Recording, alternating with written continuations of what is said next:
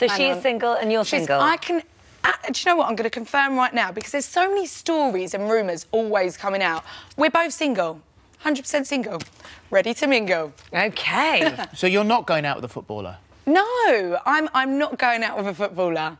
I, I honestly, I knew you was going to ask me this. No, no, only because I'm not. you just said no, and then the story is that you Do you know, are. there was a story, we were in the same club. How that means that we're going out and dating is ridiculous. I'm not going out with anyone, I'm single. So I'm there not is no dating a Tottenham. Hotspur footballer in your life? No, there wasn't. You can it's- confirm that? I can confirm there was no Tottenham Hotspur footballer in my life. And it says wag in training. I'm not a wag in training. I don't want to be a wag. I want to do my showbiz presenting on this morning forever. Oh, you're in a musical. Oh, I'm in a musical and I'm a bus driver. She's a jack of all trades, quite frankly. Oh, my goodness. Um, well, keep us updated on your love life anyway. always. Let us know. All right. Uh, thank you. Thank, Thank you. you.